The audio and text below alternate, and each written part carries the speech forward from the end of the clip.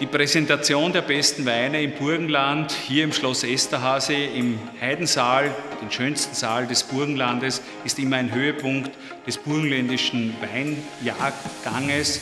Und hier präsentieren sich die Winzerinnen und Winzer mit ihren besten Weinen. Und äh, wir haben hier die Möglichkeit, dass wir verschiedene Sorten dementsprechend in das Rampenlicht stellen.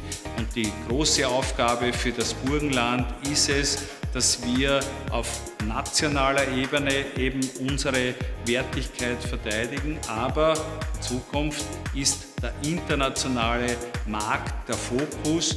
Die Marke Burgenland ist mit dem Wein ein ganz wichtiges Thema und dementsprechend ist uns hier diese Veranstaltung ganz wichtig. So, ich durfte heute wieder mal dabei sein, wo die besten Weine des Burgenlands verkosten waren. Und natürlich habe ich die Chance genützt und äh, es hat sich gelohnt. Alle zwölf Weine, die eingereicht wurden, wurden mit Goldmedaille bedacht. Und ich bin stolz, bin nicht der Aktive, aber durfte heute mit dabei sein, wo unser Betrieb zum Betrieb des Jahres ausgezeichnet wurde.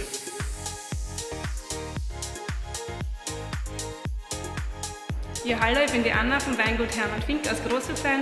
Ich bewirtschafte den Betrieb gemeinsam mit meinem Papa. Wir waren heute mit zwei Weinen im Stechen und haben den Landessieg für uns entschieden. Es freut mich wirklich viel, dass wir das geschafft haben, weil wir waren schon öfters im Stechen und heute haben wir endlich den Sieg geschafft. Mich freut es, dass ich einen Landessieger gemacht habe, den Zweigel Klassik. Ich finde das super. Äh, voriges Jahr habe ich einen Landessieger gemacht, den gelben Muscatella, am zweimal hintereinander. Das ist super.